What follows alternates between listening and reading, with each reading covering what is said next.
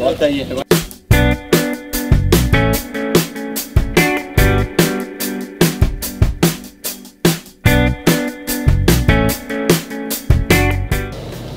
Olha, eu cheguei hoje, eu estava em Barcelona, né? Um dos grandes clubes também do mundo.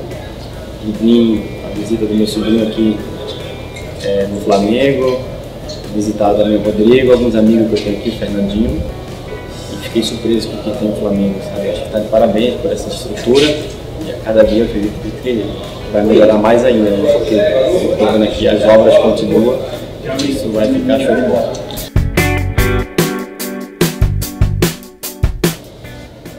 Apareceu essa oportunidade, né? De vir pra cá, né? Saiu.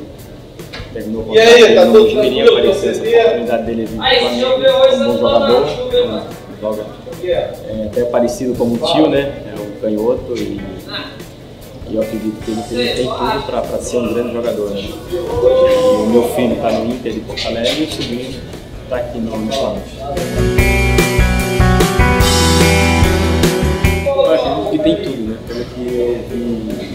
A seleção, jogadores convocados, eu acho que tem tudo para conseguir esse ouro tão, tão esperado pela torcida, pela imprensa.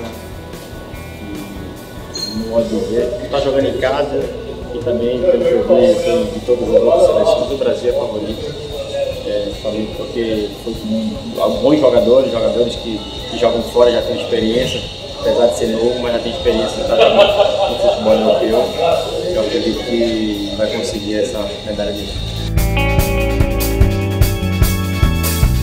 É, eu não tive essa felicidade né, de, de, de jogar no Flamengo, mas o Flamengo é respeitado no mundo inteiro. Né? Então é um prazer, uma honra ter essa camisa, um presente do, do, do, do, do Rodrigo para mim. Fico feliz.